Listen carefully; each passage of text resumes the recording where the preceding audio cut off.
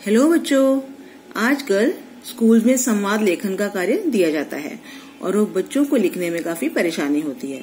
लेकिन इसे लिखना बहुत आसान है, जैसे यहाँ पर मैंने लिखा है। वैसे ही आप भी लिख सकते हैं। अगर आप किसी काम को मुश्किल समझेंगे तो वो मुश्किल हो ही जाएगा।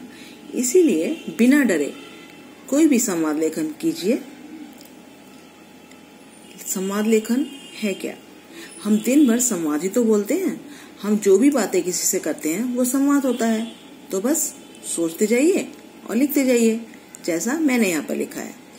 लेकिन वीडियो शुरू करने से पहले, अगर आपने अभी तक मेरे चैनल को सब्सक्राइब नहीं किया है तो प्लीज़ जल्दी से कर लीजिए, ताकि आगे आने वाले अनुच्छेद, कहानियाँ, पत्र, संवाद लेखन आपसे छूटने ना पाए।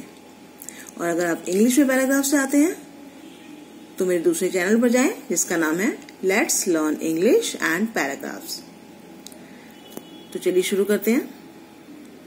जन्मदिन के अवसर पर दो मित्रों का संवाद। दीपक, आओ अमर, तुम्हें देखकर बहुत खुशी हुई। अमर, दीपक, तुम्हें जन्मदिन की बहुत बहुत बधाई हो। दीपक, धन्यवाद, आओ बैठो। अमर ये लो, तुम्हारे जन्मदिन का उपहार, दीपक।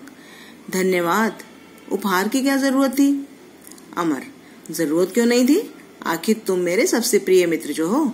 दीपक, चलो आओ, कुछ जलपान का प्रबंध किया है, तुम भी कुछ ले लो।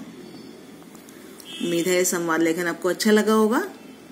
अगर आपको ये वीडियो पसंद आई हो तो प्लीज़ लाइक, शेयर और सब्सक्राइब करना ना भूलें। Thank you.